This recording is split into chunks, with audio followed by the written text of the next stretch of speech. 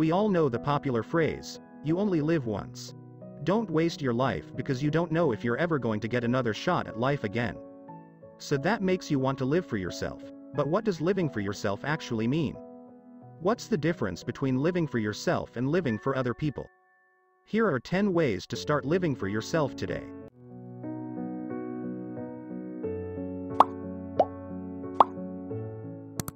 One, Figure out who you are. Before you can even begin thinking about living for yourself, you have to understand who you are. This might seem like something you should already know, right? After all, if you don't know who you are, then who does? You know your favorite foods, your favorite movies and TV shows and books and music, and you know what you want to do with your life. But if you stop and think about it, what else do you know? Could you write a thousand word essay about yourself, or would you be done after listing out your hobbies and interests? Who are you, really, and what makes you tick? Too many of us have no idea who we actually are. And living for yourself means understanding who that self is outside of all your surface level details. 2. Separate your goals from the goals others set for you. Deciding to live for yourself can be an exciting, thrilling decision. But it can also be terrifying because it means stepping off of the path that others may have already laid out for you, and stepping onto a new one that you have to create yourself. And the most difficult part of setting down your own path? Figuring out what you want because you want them, not because someone else convinced you that you want them.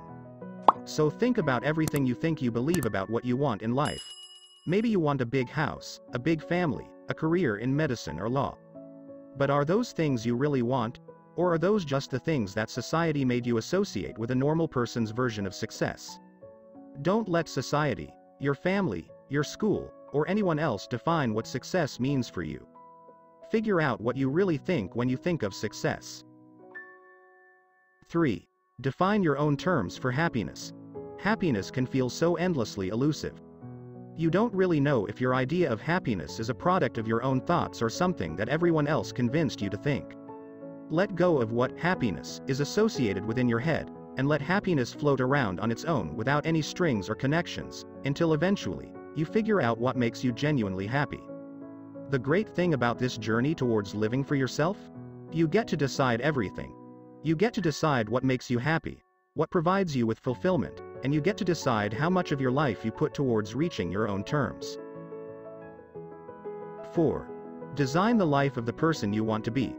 Once you figure out who you are in your personal terms for happiness and success, it's time to try to think of your end game. Think of who you are today, and then think of who you would have to be the person that has achieved everything you want in your life. Now ask yourself, what are the differences between reality me and end game me? What do I spend my time on, versus what would the ideal version of me spend their time on? What do I care about, versus what would the ideal version of me care about? Once you figure out the persona of your dream self, you can start building the right habits to help you become the person you want to be. 5. Choose the people you allow around you. The impact our social circle has on who we become and how we live is generally understated by society. The simple truth is this.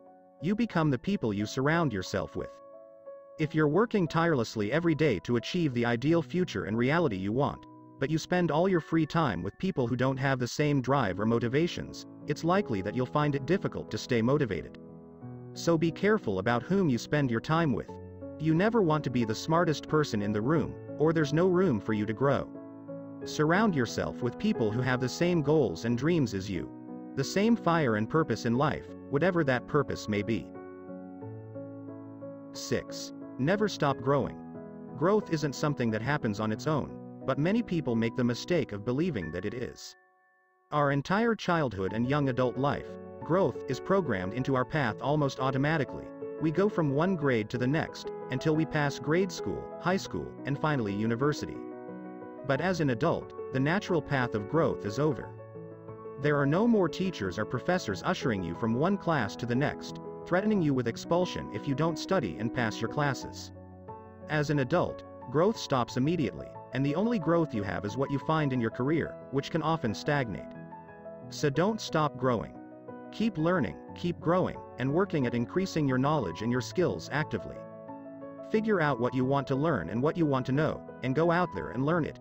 Don't wait for the world to put it in front of you, because here's the secret it never will. 7. Do what makes you happy. We spend so much of our time doing things that simply mean nothing to us. Our free time is wasted on activities that don't make us feel alive.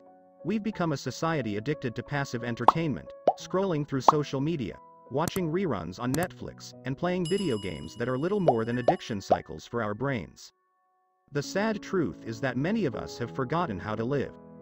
Even if we do have free time, we don't use it wisely, almost as if we're just burning our minutes away, waiting for tomorrow so that we can do it all over again. Live for yourself by giving your mind and body the activities that make you feel truly alive, stimulating you in ways no other activities do. Identify what makes you really feel alive, whether it's hiking, going to the gym, reading a book, learning a new recipe, and do those things as often as you can. 8. Find out what you truly believe. Ask yourself, what do you believe in? What matters to you, and what are the values you would fight for?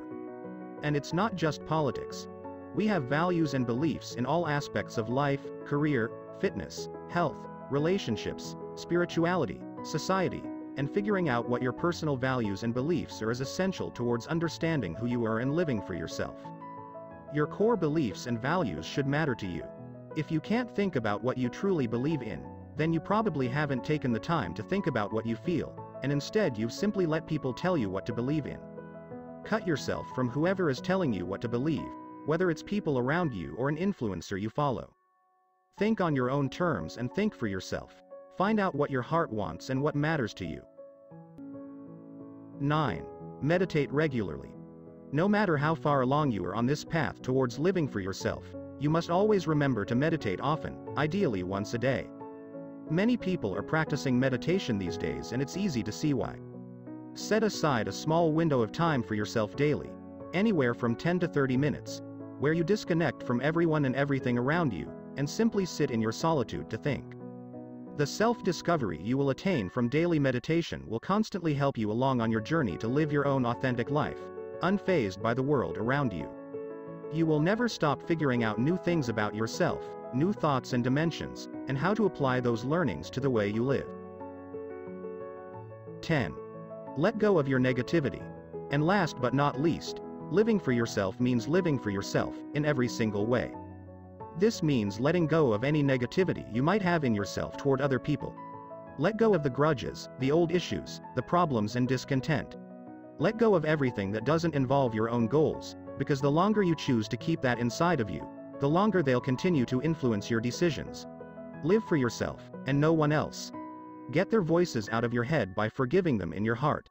Only then can you be truly free from their influence.